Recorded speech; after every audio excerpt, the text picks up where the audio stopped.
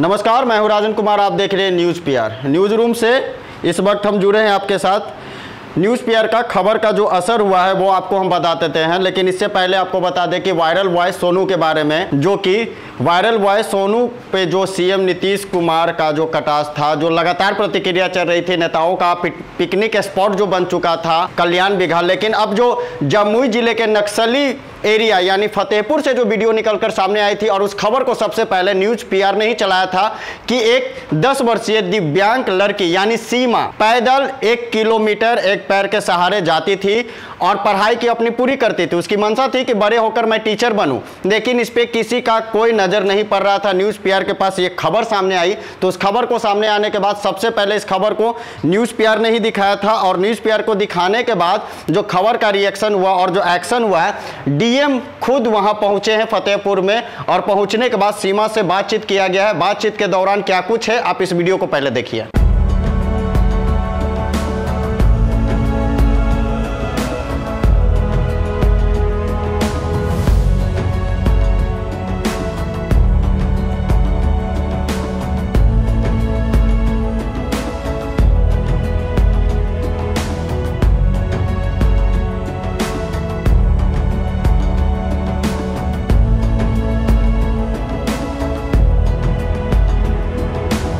दस वर्षीय दिव्यांग सीमा के जज्बे को जमुई डीएम ने किया सलाम। ट्राई साइकिल देकर पढ़ाई उचित व्यवस्था का दिया भरोसा।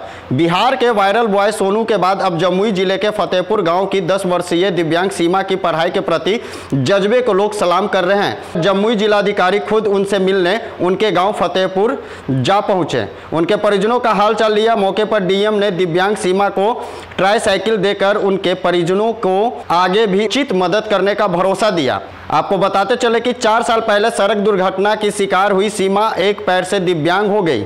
फतेहपुर गाँव की 10 वर्षीय सीमा के पिता खीरन मांझी और माता बेबी देवी मेहनत मजदूरी कर किसी तरह घर चलाती है। सीमा एक सप्ताह पहले ही उत्क्रमिक मध्य विद्यालय फतेहपुर में कक्षा चार में नामांकन हुआ था। अपने घर से एक किलोमीटर की दूरी स्वस्थ विद्यालय में वह पैदल पढ़ाई करने जाती थी। यानी इस खबर को वायरल होने के बाद ही न्यूज़ पीआर इस खबर को दिखाया था और इस खबर को दिखाने के बाद डीएम खुद सीमा के घर यानी फतेहपुर पहुँचे और उन्हें ट्राई साइकिल दिया गया ताकि स्कूल आने जाने में सीमा को किसी तरह का कोई समस्या ना हो, जिसको लेकर डीएम वहाँ पहुँचे और हर मदद करने का आश्वासन दिया है परिवार को। और एक बार फिर से हम आपको बता रहे हैं कि न्यूज़ पीआर की खबर का असर हुआ है। असर होने के बाद डीएम खुद वहाँ पहुँचे और डीएम खुद वहाँ बोले कि एक निजी संस्थान के द्वारा चलाई गई खबरों को देखते हुए मैं यहाँ पहुँची हूँ और सीमा के जज्बों को मैं सलाम करती हूँ। न्यूज़ पीआर की पूरी टीम सीमा के जज्बों को सलाम करती है।